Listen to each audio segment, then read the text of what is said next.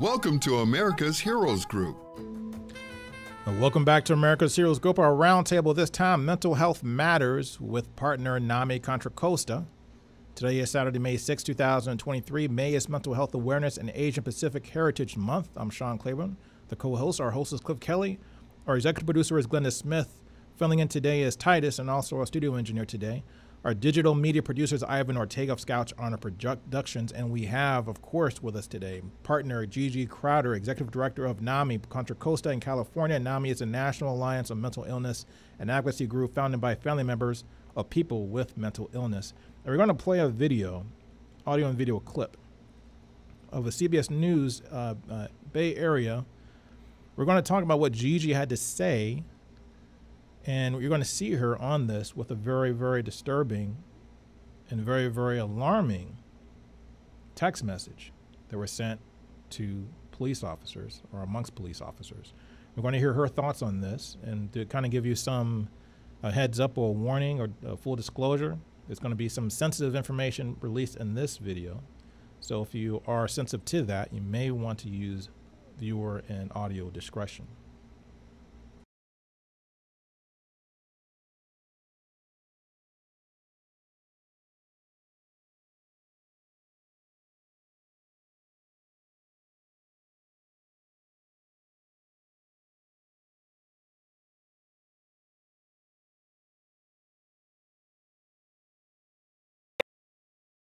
Those tests haven't been officially released yet, but Mayor Lamar Thorpe is giving us an idea of their disturbing contents. He's now calling for the firing of 24 officers linked to the investigation, and the department is hiring an outside investigator to determine just how widespread the problem has become. Reporter Katie Nielsen spoke with one resident who says those text messages prove what she has felt all along. Katie.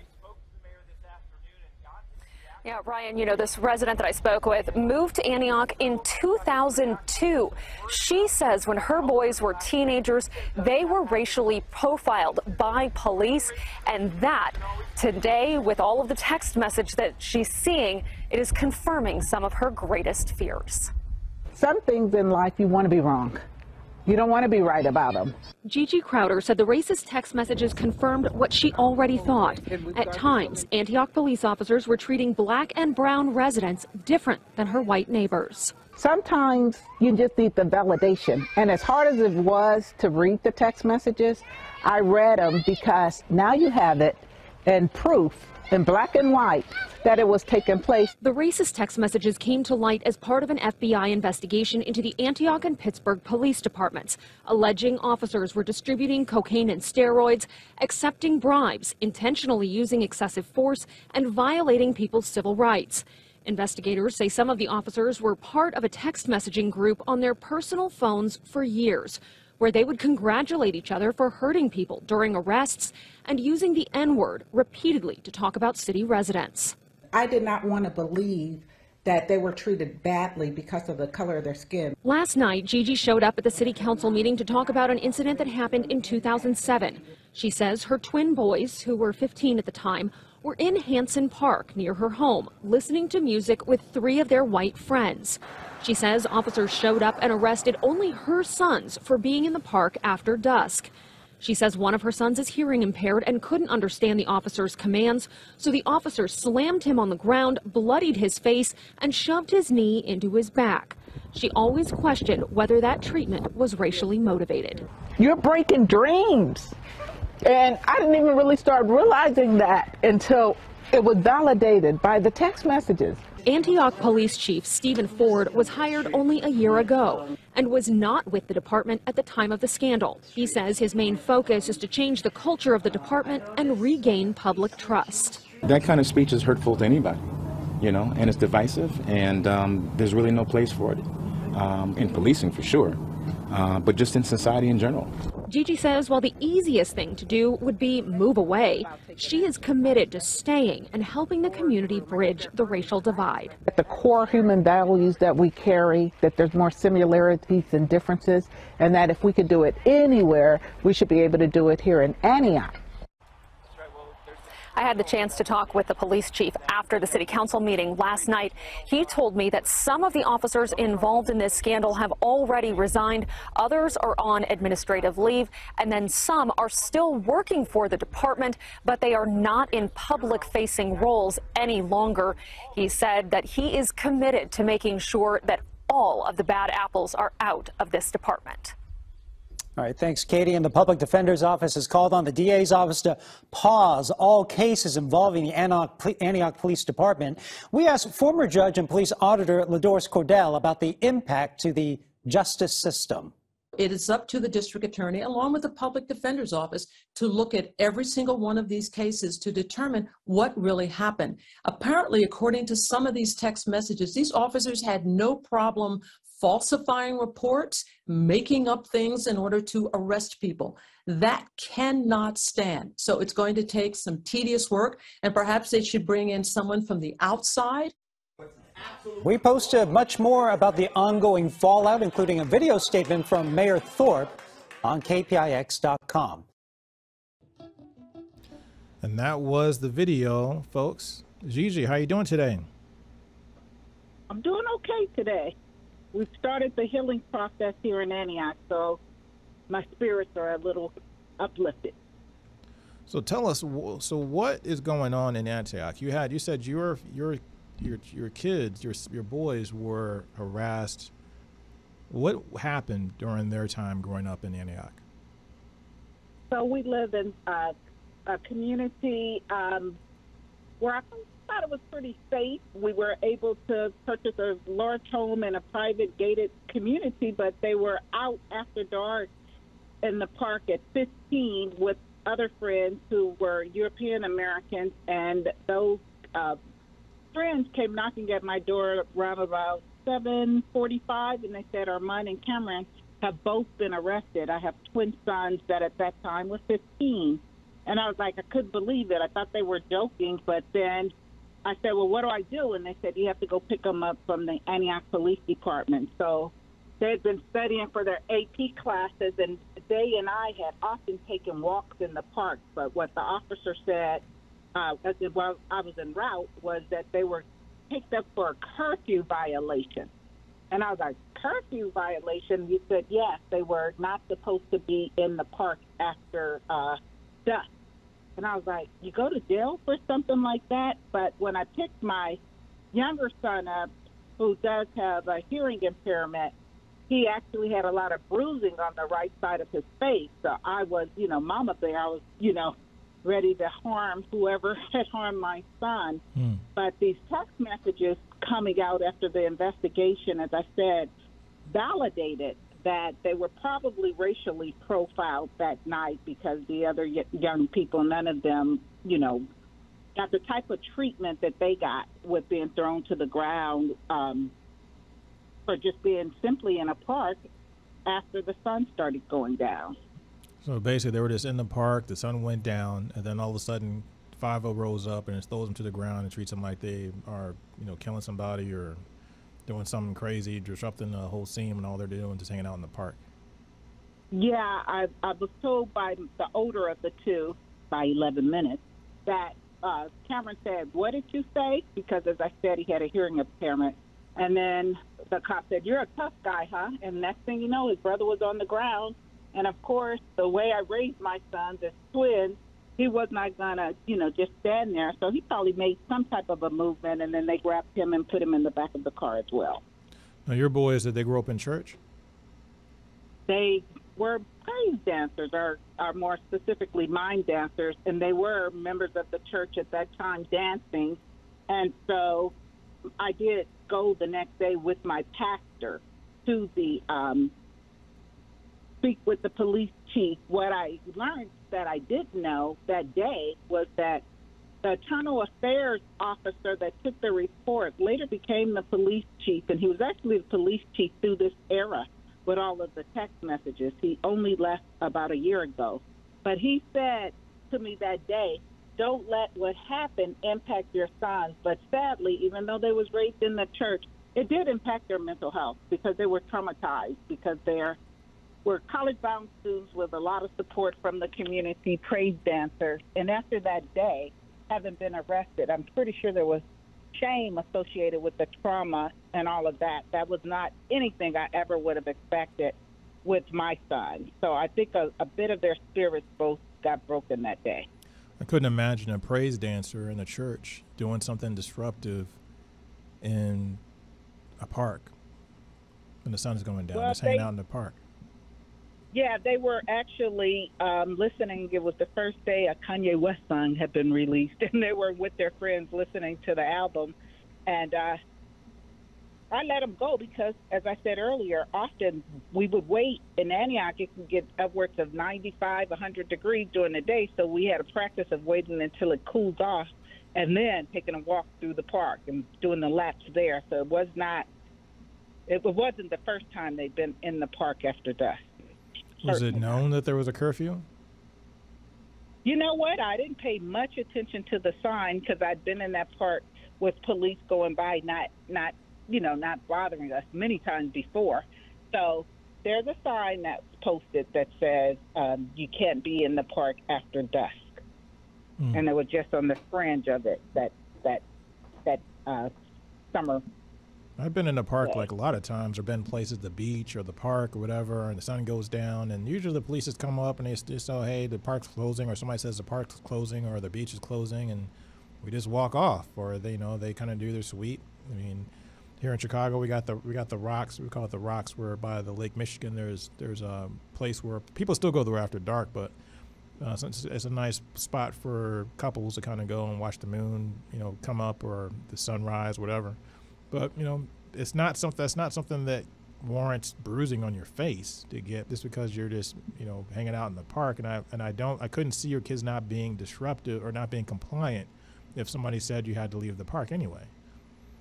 Right. So I think when my son mentioned that he didn't understand what the cop was saying because he has a hearing, it's only on one side, but if the cop was, if he was already, of course, pissed because you get confronted by a cop, right? Mm-hmm. And we all, I think, as African Americans, have some already inherent fears of cops based on the history of uh, what has happened to African Americans, and I'll say in particular, black young men with cops. So he probably was pretty anxious. He might have been also baffled at the idea that you're going to, you know, bother us because of a park curfew when there's so much more going on you could be focusing your attention on. But what I do realize that uh, my sons were luckier than others because now that these text messages have come out, there was definitely intentional harm brought to some of my fellow African American uh, neighbors. And tell us uh, once again a little more about these text messages. I know the the uh, the video couldn't or didn't show or didn't reveal what was actually in the messages. Um, are you willing to say, or do you know what was in the messages that we should know about, or do you Yeah. want to bring that up? Yes, I just left. As I said, I, I'm starting the healing process at NAMI Contra Costa. We recognized right away that we needed to mobilize and start getting some community listening sessions to start the healing process. So we invited the public defender, um, Ellen McDonnell, um, here in Contra Costa County, and she actually shared a lot more than I was aware of about some of the actions, things like changing um, through text messages, changing police reports, standing up for each other, lying on the stand, intentionally targeting some African Americans for harsh treatment. Um, I mean, it all started with a probe around them selling drugs and, and, and steroids, and then it feels like uh, when I did that interview, we were saying they were saying a half a dozen, then it was a two dozen. Now we're talking about 45% of the Antioch Police Department were a part of either sending out text messages or being in the in the group text. Meaning, if you you know are law enforcement and you are aware of a crime, it's your duty to report it, even if it's amongst your fellow officers. And mm-hmm. that did not happen. So we're probably looking at uh, uh, two of our congressmen have called for you know federal Department of Justice uh, involvement in these situations because it sounds like uh, I spare myself from some of the text messages because you know I gotta I, I'm a woman of God of great faith. I, I gotta spare myself from too much trauma but it was very triggering to hear of what happened and the possible role it played in the shift that my sons had around what their future might be like. So these text messages, they basically were this people confessing that they were selling drugs, selling steroids, narcotics and steroids, and then also using racially charged language, racial epitaphs or slurs, racial slurs. That's one thing I can, that comes to mind. I think of racial sensitive information. Yeah. Yep. They talked. Um, uh, several other officers were a part of the. As a matter of fact, that the, the main um, challenge we had is that the, uh, I guess, the president of the police union was amongst the group of individuals. Internal affairs was a part of it, and when I share with you, I took my complaint to an internal affairs, not knowing they rotated. So it's like there really wouldn't be any police accountability in the city of Antioch. I start telling young people as we do these groups, at this point, sadly, we have to treat cops guilty until proven innocent. Mm-hmm. Now, this is just, disturbing on many, many different levels. Uh, tell me a little bit about Antioch as a community. How was it? What's the demographics of Antioch? And then also, what's what's the demographics yeah. of the police force? Is it does it reflect the community? No. So Antioch is actually 60% BIPOC, Black, Indigenous, people of color. So we have more from those communities than we do, um, you know, in totality than white Americans. But it was a sundown town. So we now hear stories of 30 years ago, if you were African American, you did not feel safe being here after dark and you only usually think of that in the South. Um, Antioch is a city in which individuals like me, who are African Americans, found opportunity to come and purchase, you know, 3,500 square foot homes for a lot cheaper than the Bay Area, Oakland, San Francisco, where it was so much more expensive. So we were professionals. Many of us commuted back into Oakland and San Francisco, you know, for our jobs. But uh, uh, the economic le- for African Americans is relatively high in Antioch because two parent households with, you know, two professionals in the home, and so got to get our swimming pools and have have our barbecues in the backyard or the side yard, not in the front of the house where, you know, if you live in an apartment or something like that, you would have to do. So we thought we were getting a piece of the American dream, but Antioch became one of those make Antioch great again uh, cities, I believe. What does that mean? What does it mean by make Antioch great again? Well, you know, MAGA, MAGA is a campaign mm-hmm. that was ran against people who had some obvious disregard for uh, communities of color. And so we've had a couple of politicians in Antioch say, make Antioch great again, meaning let's not, let's take it back to where it was when it was a sundowner. Um, uh, city, and uh, we are. No, was this was know, this in response because a lot of blacks are moving into the community because now it's sixty percent black? Of, so when we had the economic downturn, many of the homes that had once been purchased by African American professionals uh, started renting out. A lot of people lost their homes, so people uh, started using Section 8 as an option. So we did have an increase in Section 8 tenants, which brought a, bought more low income, not all African American, but uh, Antioch also is the city within our county that transports the greatest number of African American youth to our juvenile hall. We only make up 10% of the overall county, but we're very overrepresented in a juvenile justice system. And now we know that the bulk of those cases were brought about by cops from Antioch and the neighboring city, Pittsburgh. So both Antioch and Pittsburgh are under federal FBI. Um, there are several officers in Pittsburgh as well. I think they're up to 10 who were a part of this um, investigation. And then Antioch with 44 officers. Wow. So what is being done now? So there's, there's the FBI investigation. Are there any any civil cases or any uh, legal cases that are going on between the, the, the people who live in the residence who've been exposed to this type of harassment? Yeah, so there's a pretty well-known civil rights attorney, John Burris, who typically handles a lot of police uh, brutality and often um, police violence cases.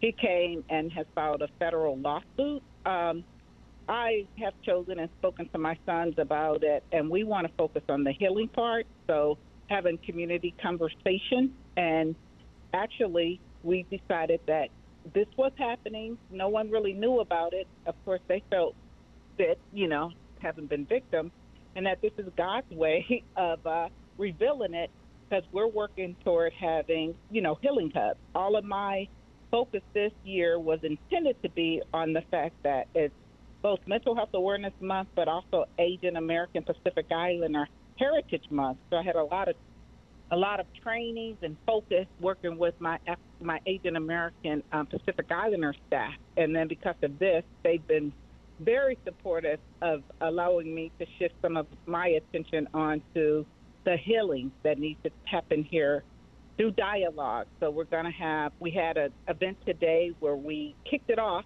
and then next week we'll be having conversations with the police chief who was only on the job for a year, but I don't know how you can, you know, start mending and healing without him hearing from the youth about how they're feeling about all of this because we definitely want to break the um, the school to prison pipeline and we think we, we see more opportunities now for that to happen with the attention being I've gotten some funding I've been asking for for a long time to have an African American holistic wellness hub and so that probably would not have happened um, from our board of supervisors had this not happened. So I have to look at the opportunities for us now to um, justify why there needs to be specific services for African Americans. And I figure I will be able to justify the need for that for also other BIPOC communities like the Asian American Pacific Islander community as well.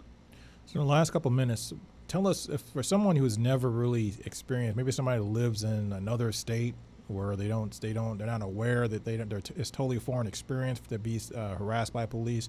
Tell me how you feel as a parent from your personal perspective. What would you say to someone about how you feel and what your fears are and what you're angry about regarding what's going on? This, can you express that in about two minutes to someone who's never, who's, who's completely unaware of what's happening in the world today? with this particular it's topic? It's undescribable. I, I never thought I'd ever experience the look of pain on my children's face when I went and picked them up from the police department because, you know, of course, their goal was to never be arrested, uh, and why would they be, and never have a docket, as they call it. And so, even though the charges were dropped, as I said, as a as a parent, we had to work through that traumatic experience together. So, if you've been arrested in a park before, my going to that park shifted. My mental health was definitely compromised. I was traumatized uh, thinking about it. You know that that my sons were harmed and I wasn't there. And actually, when the cops brought them down and I saw my son's face, I felt myself going forward to harm the cop who harmed my son. But I felt a pressure pushing me back, and I know it was just the hand of God that kept me from also, you know, mm-hmm. making a poor decision that could have, you know, ended up with me also having, you know, some harm, physical harm done to me. So mm-hmm. it's indescribable. Our, our our jobs are to protect our children, and when we can't do it, there's a breaking of trust sometimes with the children as mm-hmm. well. Gigi Crowder, appreciate your time. You're executive director of NAMI Contra Costa. That's the National Alliance of Mental Illness an advocacy group funded by family members of people with mental illness. I appreciate your story and also wish you success. I want to follow up on this and kind of tell us what's going on as the months go by and how the progress is being done. And I would like to see this also in national news outlets because this is something that's very. It, has been. It actually has been on CNN and, and others. Yeah. If okay. you Googled it, you would see. It, it went national. Yeah. Perfect. So we want to have people, if you're listening to this uh, broadcast now, seeing it on America's a Heroes group, check out the, the follow this story. You know, put your two cents in, communicate with this on social media, get this blowing up. People need to be aware of what's happening and also the the so, the social cost of police harassment. Appreciate you, Gigi. Thank you. This is America's Heroes Group. Make sure you see all of our shows on America's HG or our YouTube page or on Facebook. We have a ton of archive shows that talk about all these different types of topics and things you can find out about how to get connected to your benefits, how to uh, to navigate the world of being a veteran, and also civilians. If you don't know much about the military, there's a lot of useful information about how to handle or how to work with someone who is going through something in the, in the, in the veteran community. This is America's Heroes Group. Appreciate your time. Appreciate your listens. Appreciate your ears. We'll be right back again next Saturday, 4 to 6 p.m. Also, once again, see us on americashg.org. If you have any questions, inf- email us at info at americashg.org. And you can always call us. And I got to get that card out again. Always get yelled at because I always forget to bring the card out. And the card says that you need to call 312 803 2618. That's 312 803 2618 if you're still doing that kind of thing nowadays. We'll see you next week.